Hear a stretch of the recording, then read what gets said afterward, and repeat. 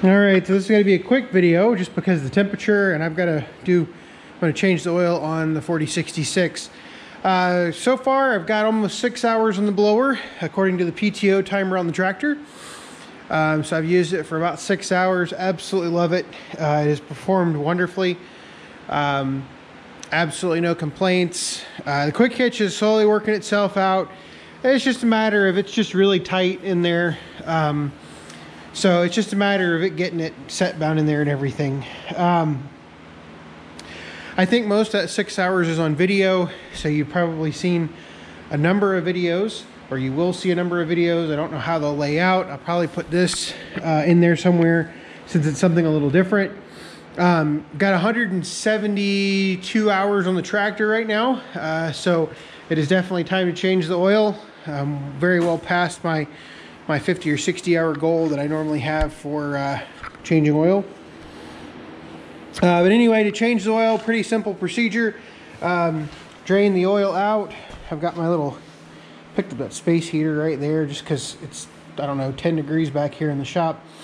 And I just didn't want to get my hands too cold. And I've got to wear, uh, I've got gloves on underneath the nitro gloves, but at the same time, it's just not very warm. Uh, so I'm going to drain the oil out. Uh, pull, pull, the oil filter, which is in there. Uh, replace the oil filter. Better make sure I have an oil filter first. And then fill her back up. Um, can't remember where the oil fill is at. I'm wondering if I have to take the side panel off. Maybe it's on the other side. Can't remember. Uh, I'll have to find that. Um, I've only changed oil in this thing once. Uh, like I said, I'm not too happy about that. I should have changed it a month ago. But anyway, we're going to do that. I'll uh, come back as I have progress and as my hands get warmed up and everything. So off we go. All right, well, got the oil changed. Um, it was almost 173 hours. I didn't realize how, how long it had been. Unfortunately, I couldn't tell you the last time I changed the oil um, because I couldn't read the writing on the oil filter. So uh, it's got a got brand new plus 52. If you can see the kitty litter or the oil dry down there. Uh, naturally, if you look back at the beginning part of this video, I had a little itty bitty metal pan under there. I'm not really sure what possessed me to want to uh, put that underneath there with I knew that this thing actually had quite a bit of oil in it. So made a little bit of a mess, but that's okay. Uh, double checked it, oil's right where it should be. So we should be good to go. Makes me feel a little bit better about using this thing. Um, I will also hear probably later this week. Uh, it looks like, um, actually not. It'll be later this week, but it looks like in the long range forecast, um, it looks like we will get some uh, some snow, and um, it looks like we're going to get quite a bit of snow, and uh, so I'll need to grease the blower here. Um, got to do the chain. I'm gonna, the chain's a little loose. I got to read the spec on the chain. and it was set up when I got it. Um, so I'll have to check that and see where the tension needs to be on the chain. Um, so yeah, uh, overall, really like this setup. Uh, got numerous comments asking why I didn't get a front mount blower. Um, so here's some dollar, some dollar amounts for this blower. So I paid 4600 for this one, brand new. Now these are all brand new numbers, all right? If I wanted the front mount front end loader hydraulic blower, so the hydraulic blower, um, it'd be like the SB12 or 1374. I think that's the number.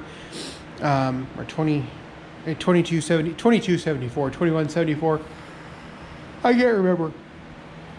Um, that blower, brand new, is $14,000 the SB 11 or 1274, which is the upgraded version of the, the 1174, is $6,800. Um, now, that's also a rear mounted blower. I'm just giving you all the blowers that I priced. A front PTO with 540 PTO, uh, a front three point with 540 PTO for this tractor uh, is, depending on how you source it, uh, you can't get a 540 through Deere. Um, you can get a thousand through Deere, but either option, it's about $7,500 to get a front three point and PTO. Um, so if you want a five, yeah, if, if you get a 540, it's also about $7,500 plus install. Install is not easy.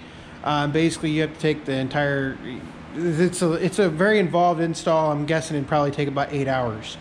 Um, ultimately, yes, I would like a front uh, three point with a blower on it. I think that would be really nice, um, and certainly something that's in the future.